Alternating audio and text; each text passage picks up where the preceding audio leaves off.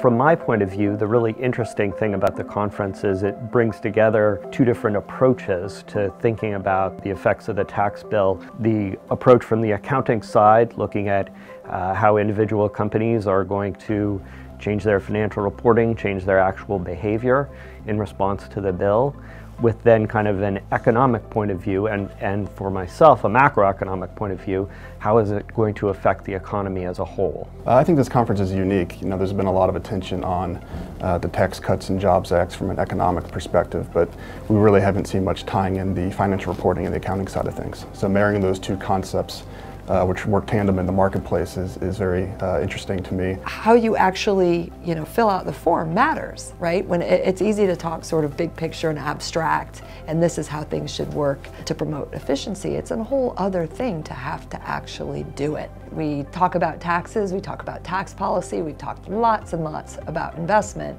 but the reality is, is we have corporations that ultimately have to pay their taxes, but they also have to provide information to the users of the financial statements, their investors, about what this tax bill means for them. Okay, so are we more or less likely to build our factories offshore as a result of this bill? So on the one hand, we have Keynesian economics, demand side economics. This is a large tax cut, a lot of cash flowing into the economy. It's stimulating demand. Consumers have more money to spend, businesses have more money to invest. Unfortunately, this is at the point in the business cycle when you don't want that. You would want to do that during a recession. Right now, we were already peaking. What the bill was intended to do, on the other hand, was to have a supply side effect in the long run. So by lowering your taxes, you're going to work more. By lowering business taxes, uh, they're going to invest more.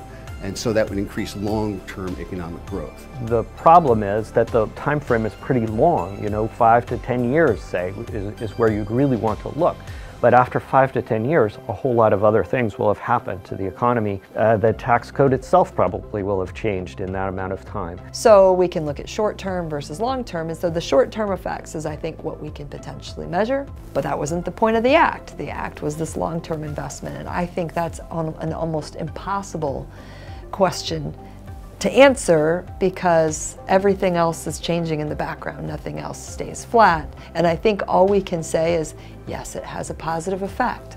But I think to quantify that is an enormously difficult question, and I, I would be hesitant to ever rely on any number that would come out of a study along that line. Yeah, I think most companies right now are grappling with just trying to understand what the law says and just take that to their existing operations and understand how to comply with that law as best they can. You know, corporate America has received a windfall of sorts, and it's how they're going to provide capital to future investment and growth opportunities, return capital to shareholders, either via dividends or buybacks, and how they balance those different competing priorities. I just think the level of uncertainty is, is quite remarkable. As much as the footprints of the bill may have dated back uh, several years, the specifics, uh, particularly uh, you know, on, on, the international side and with some of these uh, complicated business provisions, you know, were really conceived uh, last fall and, and are now the law of the land. And I think what you're seeing is after the law is in place, uh, people trying to figure out exactly what it says. We have the board game, but we haven't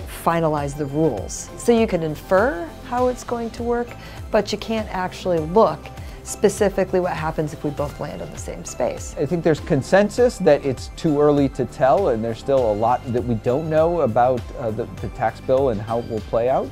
Uh, but that makes it even more important to, to, to have these type of events. This bill, like no other tax bill we've ever had, is so uncertain. And what we're learning is this is exactly the right thing to do. We, we need to have lots of communication. I think economists, accountants, investors often work in their own silos, and it's rare that you bring these different constituents together to tackle such a prominent topic in the marketplace. We're just delighted to partner with the Tax Policy Center. It's exactly in line with the, the goals of the UNC Tax Center, which is to promote cross-disciplinary research and get accountants and economists and people from finance and academics and policy and practice to get together to share ideas on tax research and tax policy. So we're just delighted to be co-hosting this conference.